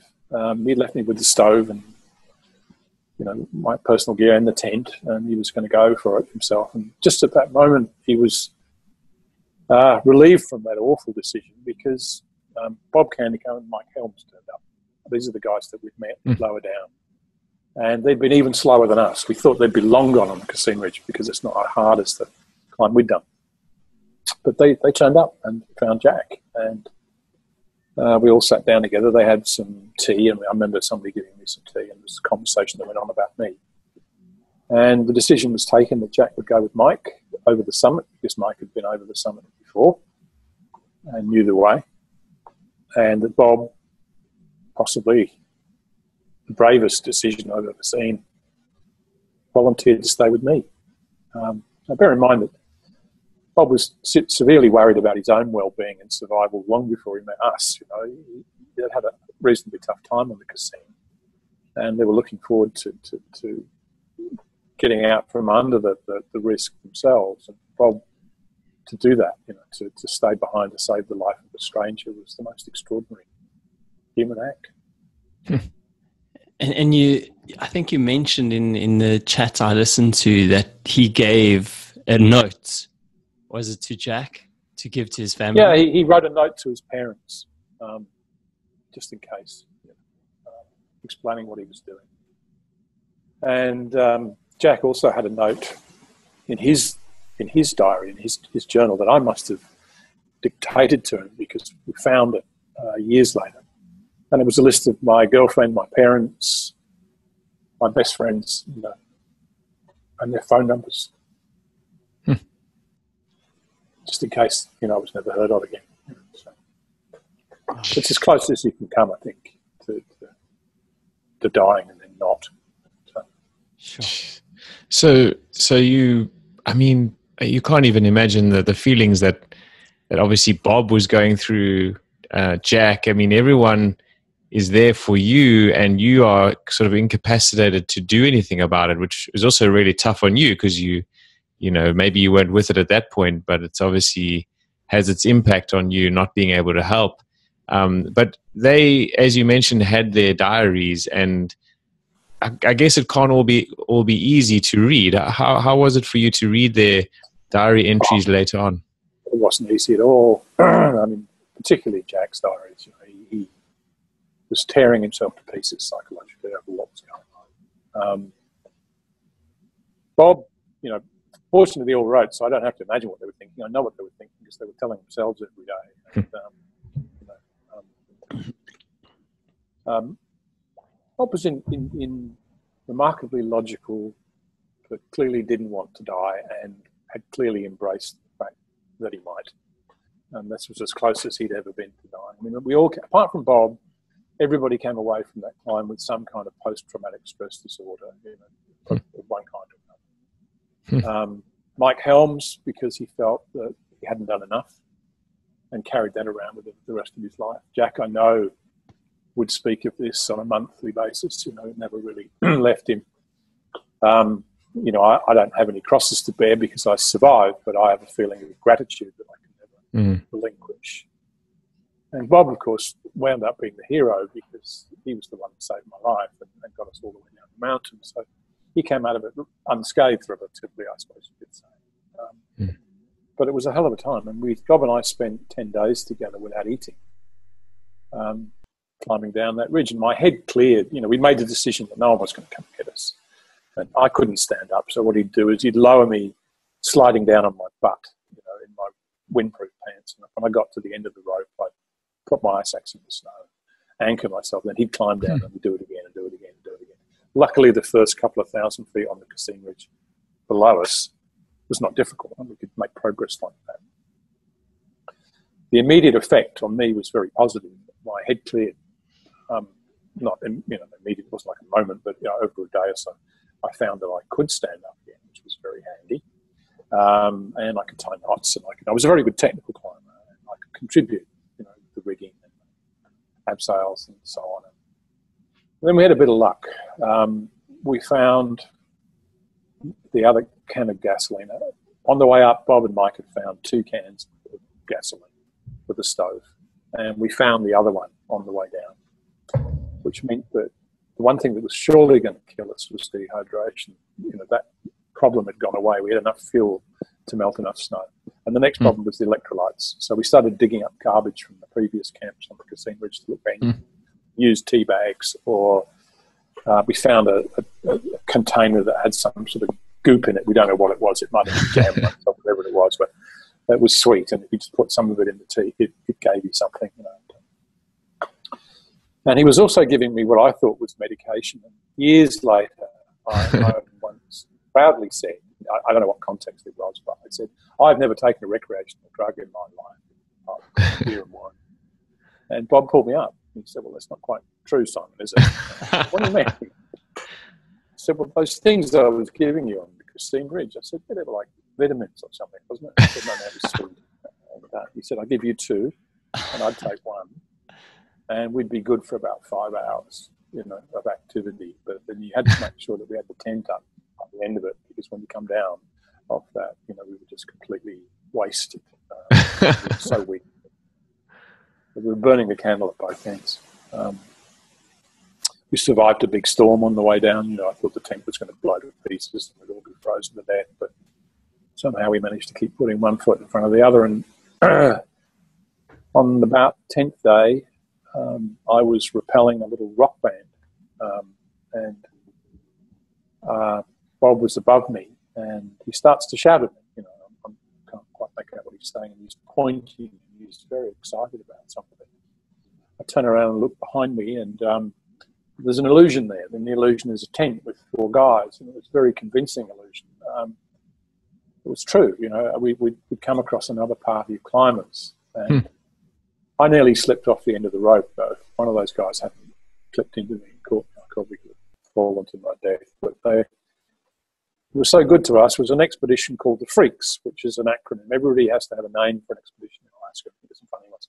These were Freaks, hang on, far out, hmm, can't remember, environmentally aware climbers or something. It, it, it, it, um, it was a, an acronym for that. They took us in and we destroyed their expedition by by arriving in that state. Um, they gave us a little bit of food, which was agonizing. You know, you've got to be careful when you haven't eaten for a long time what you eat. They only had a Mexican dinner, which was really spicy and really caused oh. me a problem. Um, and we descended with them for the next two days um, until we could get down to a thing called the Hanging Glacier, which was uh, it's like a it's not flat, but it's not steep either. It's like a big snowy saddle and about 14,200 feet. And it's quite warm down there, and the air's a bit thicker. And, and Bob was able to run after another expedition that we could see in the far distance. It was a Japanese team, and we knew they had a radio. And Bob caught them and got to use the radio. His great fear was that the Park Service would have notified his parents that we were missing and they would be going through terrible anguish. Um, and, you know, he was never more happy. I, I, don't think I've ever seen him after he'd made that phone call to, to, the, to the Park Service. And he came back up and I, you know, I said, what, what are we doing? And he explained, he said, I've ordered lunch. And um, he explained he, he got hold of the, the, the, the ranger station and spoken to them. And they said they're, they're coming in with a helicopter uh, and they're going to food drop us. And I told him he didn't want to be rescued because that was an option. And I went, yeah, that's right. We, would come that far, you know, that, that, now I could, I could see that we could, we could get off the mountain by ourselves. And I didn't wow. want to be. Um, and the food arrived, you know, the helicopter hovered overhead and they threw duffel bags of dehydrated food and cheese and nuts and you know, all that sort of good stuff fuel and um, Gatorade and you know, all that stuff you want. Uh, and we, we spent the whole day eating and uh, relaxing. And the next problem happened. I took my boots off, um, and I haven't oh. taken my boots off. You have inner boots and outer boots. So I never bothered to take my inner boots off. Why would you? you know, they're nice and warm. And, um, I have dainty feet, so I don't feel the need to, to, to take shoes off and things. And, uh, I had an immersion injury, which is like trench foot, and my feet swelled up like melons, um, oh. being mistreated like that for weeks. Uh, so badly that I, I couldn't hardly even put my boots back on again, and the pain was excruciating. It's like being electrocuted through your feet. I'd get these oh. attacks of the nerve ends being attacked. Hmm. Um, you know, I was back oh. crawling again just when I thought I was home free, and um, I put up with all of that for the next couple of days. And we climbed down to I think about nine or ten thousand feet, and then we picked up the Japanese fixed ropes. The, the very steep part of the Ridge is the first bit, and the Japanese had fixed it with these ropes. Beautiful job they'd done. It was like a highway in the sky. we descended the last three, four thousand feet in, in half a, half an hour or forty-five minutes or something and wandered back or crawled back for me to our igloos where we'd left our skis and we spent the night there. Um, and then in the morning, uh, Bob and I decided that we'd best set off as soon as possible because we'd run out of food again. Um, we didn't want to get any weaker than we were, and if the weather got really bad, you know, we would just have to go anyway. And that's what happened. There was a whiteout the next day. And on the glacier, the way that you travel is, is that someone goes first and then you tie the rope to each other and you, you ski one after the other, but quite a long way apart. So that if somebody falls into a crevasse, um, the second person will be like a counterweight, you know, be dragged through the snow. And with a bit of luck, you'll stop the fall as the rope cuts into the snow. And I was just following along, you know, the, the, the, the, snake of rope in front of me would move and I'd stagger after it. You know, I couldn't see where we were going. I was just following the rope, hoping that Bob knew better than I did and suddenly the rope went tight, and then mm. really tight, you know, and I was jerked off my feet and dragged through the snow, you know, um, you know, completely. I was trying flailing with my arms and trying to stop myself. I'd been dragged through by some great, great irresistible force. So Bob's obviously fallen, mm. and that's the last thing I remember. Um, uh, I know afterwards that I cartwheeled past him, and I know that Bob landed in a very deep snowdrift and post-holed himself up to his chest just about wet snow. And I went straight past him on the end of a 150 feet of rope and into a crevasse and fell, mm. you know, at least 100 feet into a crevasse. Jeez. And I must have bounced off the sides a few times as I went in. Uh, I had a broken the wrist, collarbone, a big smack on the head. Um, I eventually woke up upside down, um, counterweight with my pack, you know, turned me, inverted me. And uh, I had to get myself the right way up because all blood, you know, you can die from, from being in that position. And I managed to right myself out. I tried to use my right hand at first, normally, you know, very powerful fingers, and found that I couldn't use it at all because the wrist was completely smashed. I managed to do it with my left hand and by using my ice axe just to pivot myself around and taking the true horror of the situation. I mean, there seemed to be no bottom to this crevasse, and I knew that the other person on the end of the rope, whoever he was, because I didn't know who I was or who he was mm. at that moment, was probably going to join me in here, and that would be the end of us uh, if something didn't happen. And the bond, well, was good for me because um, we'd made such a noise in the fall that some climbers nearby had turned around out of curiosity and run back up again to see what it was, and they were close enough that they got to Bob in a reasonably quick time and were able to to pull me out by you know climbing down in there and attaching another rope and getting a pulley system going. Four strong guys, they were able to pull me out of that crevasse. Um, hmm. I met one of them um, in 2015 in Olympia near Seattle, and he walked out of a crowd at, at a slide night where Bob was talking uh, to, to an evening of you know climbers entertainment, I suppose you could call it. He walked out of the crowd and said, "Hi, I'm Steve Friddle. Do you know who I am?" I went, "Yeah, I know who you are." you know, a name like Friddle, you, don't easily forget. You know, Friddle I've ever met. He said, "Yeah, I was the one." That I was the one that pulled you out of the crevasse. So it was nice. Wow.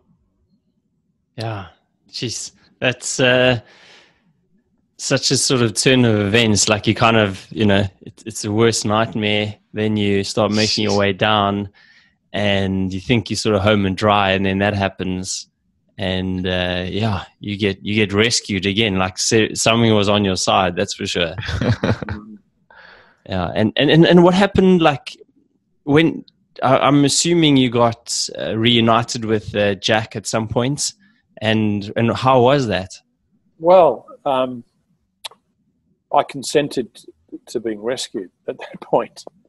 Uh, that okay, that's enough. You know, come and get me. But the weather went bad, and, and it was a big snowstorm, and they couldn't get a helicopter in there. So, in the end, Ranger Dave Buchanan, who I've since met, um, came and got me with a sled and a whole bunch of volunteers, and they dragged me into base camp. It's about 15 miles away.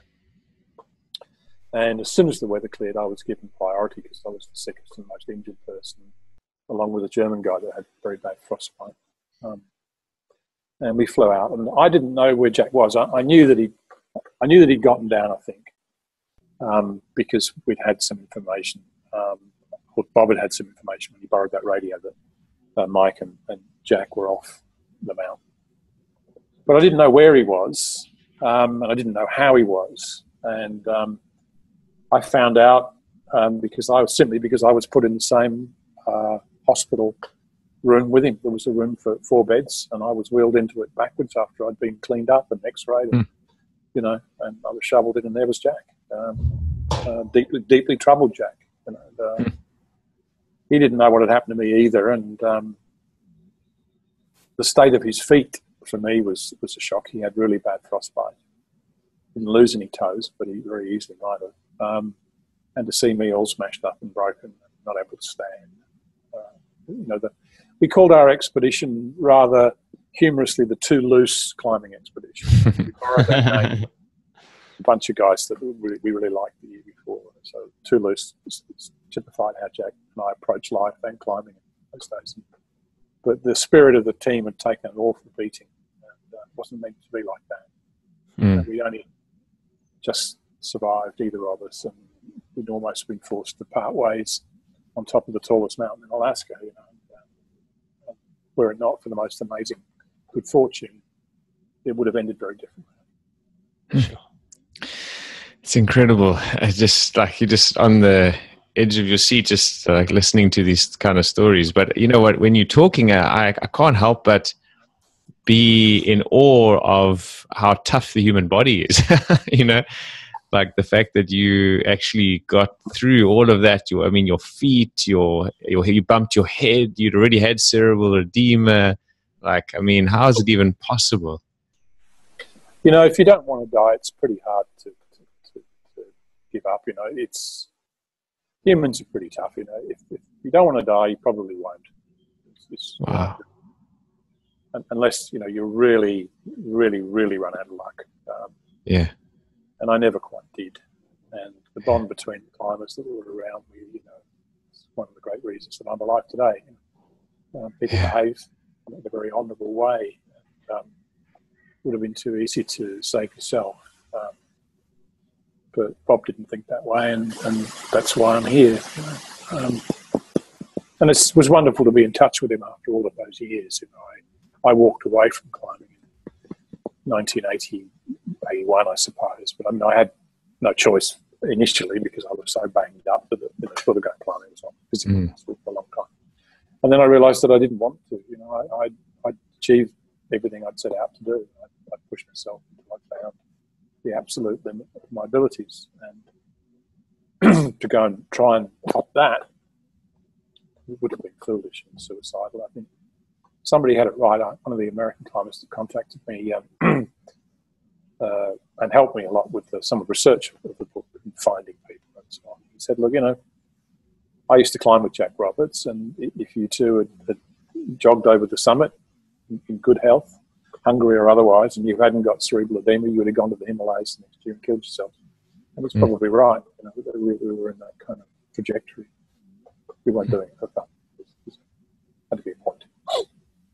Wow. Had you ever discussed that with the, all those events with Jack properly and really, you know, come to some kind of a deeper understanding, or how did that, you know? Sad, sadly, no. Um, when in, I left hospital, I Jack checked himself out first. And I spent one day with him in Anchorage, but he was obviously deeply troubled. And I said, "Well, let's go back to California." And he said, "No, I, I want to stay here by myself." And I thought, "Okay, yeah. I know where I'm going. I'm going to Australia. You know, I'm going to go somewhere where it's warm and dry." That's so I left, and uh, I didn't see him again until the next year, and that was just good luck. He was in the French Alps with a guy called Jim Bridwell, who's a very famous climber and we had dinner together in, in London uh, with my now wife, and um, you know it was awkward, uh, but we spent three months. He, he came and stayed with me, and um, well, eventually staying with some friends of his because we had such a small apartment. But he got a job in the same climbing store that I was running, and you know we would we would, we would spend time in each other's company, but we never really did resolve it. I think he was hoping that um, that he, I would agree to go on another expedition, and that would somehow um, be cathartic and put it all behind us. I wasn't, I wasn't going. I never saw him again after that. Wow, that's so sh- that's so sad that you never never saw him again after that. Um, but uh, but I think you did become good friends with uh, with his widow Pam. Um, yes, I, I, I, found a friend of mine um, that I go hiking with um, likes to Google people. He Googled me, but I, I never would have Googled anybody really. But he found out that I was a mountaineer previously because he'd found a book that I'd talked about in. It's called Surviving Denali. And uh, he knew all about all of that. And um, he sent me uh, a link to a website just out of the blue one day, and it was turned out to be a climbers blog.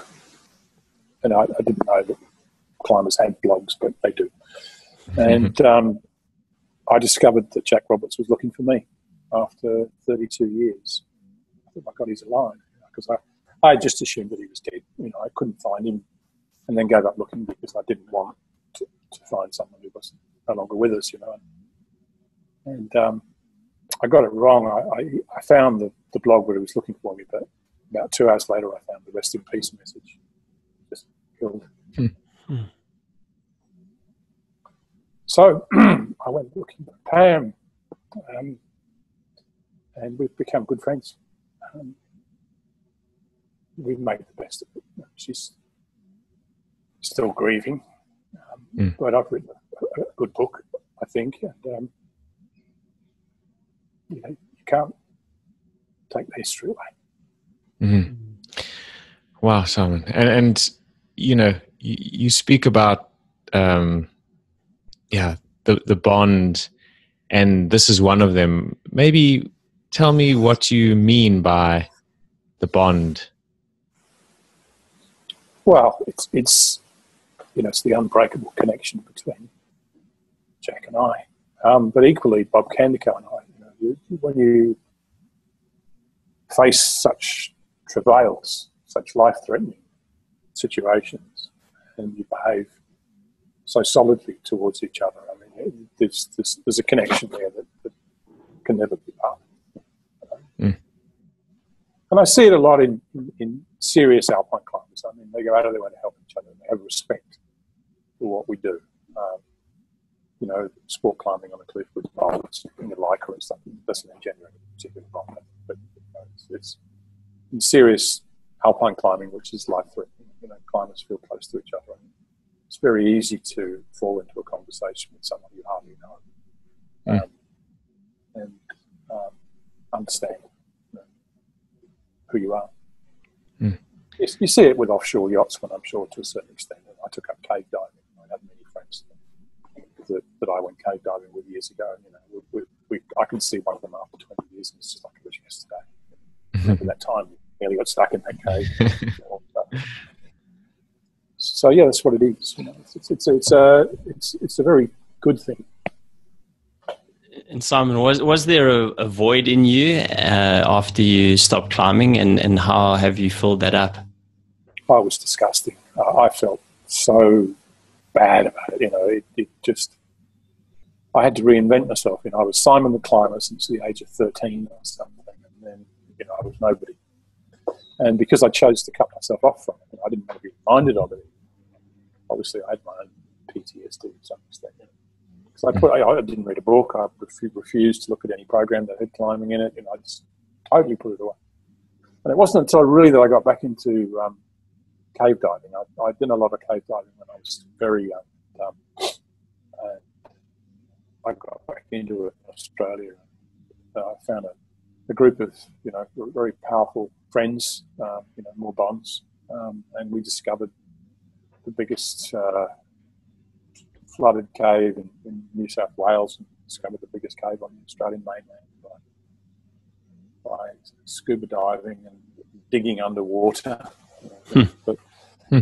that game went the same way, and I, I, stopped in the end very suddenly because I felt that I wasn't going to get killed, but I felt that I was encouraging a lot of other people to do things that they perhaps didn't understand as well as I did. I felt um, I couldn't bear the thought that I'd encourage some young you know, university student to take up cave diving and that they'd perish. So I stopped. I wanted to be a, a, a good example, for you know, just don't mm. do it. Seems funny looking back now, but I just felt that way at the time. Um, somewhere in there, I discovered work. You know, uh, a, a, career eventually loomed. Eh. yeah, so, so now my risk taking is, is, is really confined to business, mostly. Well, the old offshore yacht race gets the gets the blood racing sometimes. We went to the Philippines uh, year before last, and it was extremely windy all the way from Hong Kong. We got there a day early, but kind of, I don't I've never been that fast on a boat in my life. we were doing, we were doing 20, 20, 27 knots for almost half a day in a 46 foot boat with a rooster wow. tail, you know, 20, 20 feet high behind the boat. Just incredible. Wow. But the concentration was just exhausting. You know, you could only helm for about half an hour before someone else would take over because you just can't concentrate like that. Mm. I'm driving a Formula One car. Wow. we actually um, are releasing a chat soon um, uh, with someone who was in the uh, Earthrace, uh, which was running off biodiesel, and uh, it's just fascinating. It's another world, really, to to be boating and, and yachting and these kinds of things. It's a it's also quite an extreme world. Mm. Well, it can be. I mean, yachting can be anything. You want to make it. So can climbing. I mean, climbing in the sunshine in Yosemite Valley, with, you know, not like Alex with, you know, with the rope and nice safe equipment. It feels all under control, doesn't it? Yeah. Yeah. So tell us tell, tell us a little bit about your, your current business, Illumination Physics. What do you what do you guys do? Um, we're unusual in the lighting business. Uh, we're a manufacturer of, of, specialist lighting equipment that we design ourselves, and we light big buildings. Simple. Uh, plenty of skyscrapers in Hong Kong, and uh, they all want to be outdoing each other for cachet and for image and brightness and whatever. Mm. So I was very lucky in 2003. I wrote a report for the government here about lighting tall buildings. Uh, that report turned out to be a light show, which uh, they have every night at 8 o'clock. Yeah, it's been going mm. on for all that time since 2014. We realised that there was a great business to be had in lighting big buildings, you know, casinos sometimes, commercial buildings, hotels, those sorts of things. Wow. And um, Peter travels a lot, my partner. There's just the two of us. And, uh, but I spend most of my time in Hong Kong, which is near the factory, uh, near most of our customers. But that can be quite risky. I mean, you know, you're taking on jobs that are uh, multi-million dollar projects, and if you're late, you know, there are penalties every day. You know, tens of thousands of dollars if you don't deliver on hmm. time. And it's, it's not without risk. Yeah. Yeah. Sometimes those financial risks seem like uh, harder ones to take than, the physical ones, that's for sure. So, so Simon, uh, we'd like to end our podcast off with asking a specific question. Um, and what does being ridiculously human mean to you? I wondered about that. You know, I didn't know you were going to ask me that, but I'd, I'd been thinking about the name of it, and I, I think Bob Kandiko sums it all up. You know, the guy that would take a decision just when he thought that he'd got himself to safety to put himself back into the most dreadful danger to help me. You know, that that's what ridiculously mm. occurs to me straight away. You know, that, that, he could do that, and it's, wow. it's magnificent. Yeah, it's no brainer, really. Hundred percent. And so, so Simon, if uh, if people do want to sort of find out a bit more about you, because obviously you've written a fantastic book, um, is there a specific way for them to get in touch with you uh, for the book, um, for I don't know events or talking, or even just for your business? Ah, look, Facebook's always good. I I, uh, I use it a lot. Um, I used it initially to be able to find people, but it's a very easy way to find me. Mm. So if anybody wants to find me, I'll respond. You know, I get letters from people all the time that have been inspired by the book or just enjoyed it or wanted to say something or knew somebody that, that was on the fringes of that story. Uh, I've connected with hundreds of people that way, and it's been great. So, yeah, by all means, great. find me on and, um, Facebook. And what are your plans moving forward? Have you got anything specific that you're working on or that you can talk about at the moment moving forward? Um, in terms of business, there's always a plan. You know, we, we, mm. we you know, I'll be 63 next week, and um, wouldn't mind being a bit more comfortable than I am now. Um, but I'm going to go cave diving again. I started to work on a second book, which I think it's going to be called Far Enough, and it, it, it, it's more of a, uh, an autobiographical work than the last memoir. And um, in order to do some of the research that I feel that I need to do, I need to go cave diving again. And some of my friends who I was diving with in the late 80s are still doing it. So I've got no excuse. They're going to take me off to Jenolan Cave, New South Wales, and we're going to go and dive the, the um, Jenolan Underground River, which is one of the easier dives, but one of the most beautiful ones to photograph. So I've got to get in shape. I need to lose about six kilos and uh, I need to start swimming, training, that sort of stuff. uh, well, we'll, we'll, see where it, we'll see where it takes me. I must say, cave diving is also one of those things. It's like that's super scary. There's been some crazy movies on that, and actually, you know what's actually so funny? I was reading um, a, an amazing article yesterday on the cave dive, the cave rescue dive that they did for the the boys in Thailand, that soccer team. Mm.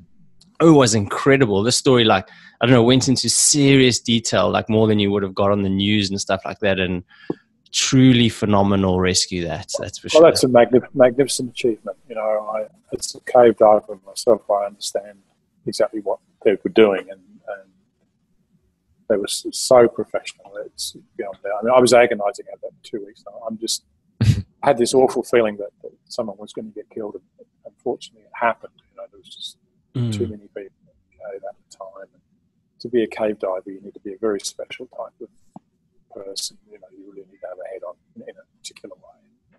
Very methodical approach to equipment and not that sort of equipment that a lot of people were using.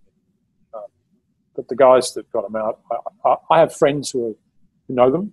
Uh, you know, that I've still in touch with all my cave diving buddies. So there was it was almost a virtual campfire every day with us all logging on and looking at, oh my God, you know, hurry up, it's going to rain, hurry up, you know, get them out. The fact that they got them all out is not totally surprising. What is amazing is they got them all out alive, which is hmm. Incredible. I thought, I thought, it was incredible that they sedated each one of those boys uh, before they, uh, while they were under the water. I mean, they were, I was like blown away by that. Looking, looking at it, you know, it's the only way to do it. I mean, you have to be so quiet at the Cape. You can't afford to breathe quickly. You can't get excited. You know, if you're the sort of person that gets disturbed by something, you know, how are you going to go with a 13 year old boy? Mm. So they put them in full face masks. So it's not mm. like a scuba mask, but you, you know, scuba gear where you have the thing in your mouth. It covers your whole face, and they're very pleasant to dive with. Um, and it means that their whole face is dry, and um, they can manage them. But yeah, they gave them Valium, mm. which was never mentioned in Thailand because Valium is regarded as being a, a date rape drug, a date mm. rape drug in Thailand. Wow. So it would have been shameful to have admitted to ever have taken Valium. It's one of the obscure things that came out of this story but they were also sedated um, as well. And in some of the pictures, I could actually see them managing different types of gases. You could see that they were mixing oxygen with air at different stages mm. in the dive. Um, so professional, unbelievable. Um, wow. So We're talking about they all got one anyway. So.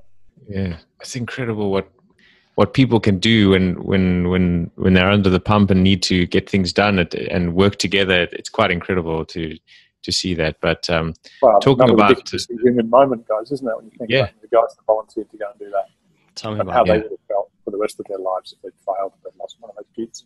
Mm-hmm. How would you live with yourself after? Goodness, yeah. You don't even want to go there. Yeah. Well, talking about incredible people, Simon, uh, it's been an absolute pleasure pleasure chatting to you. Uh, your book was literally one of the better books I've read, and, and we both really enjoy reading and uh, it just had me enthralled uh, from beginning to end.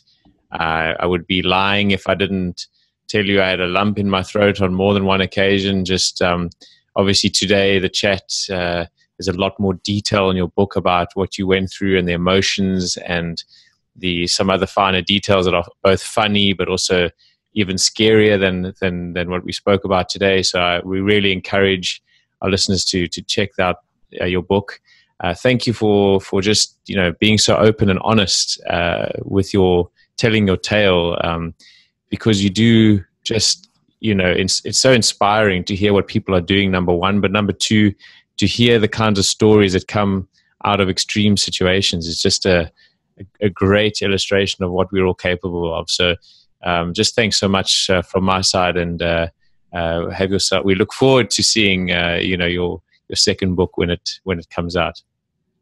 Thank you very much.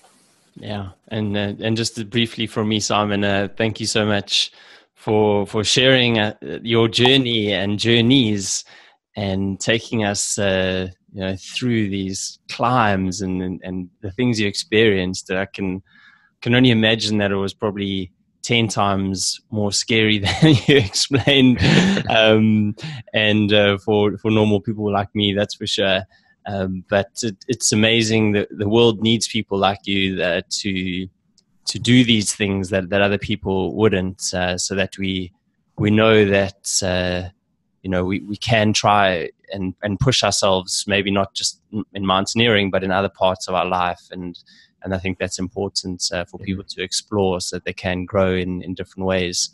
So uh, yeah, your story was amazing, um, and I definitely look forward to the the cave diving book um, because uh, that's uh, that is also not a sort of treacherous sport. But your your your your chat was amazing, and and thank you so much for for everything that you have done as a human. That's for sure. You're welcome yeah. Cool. Great stuff.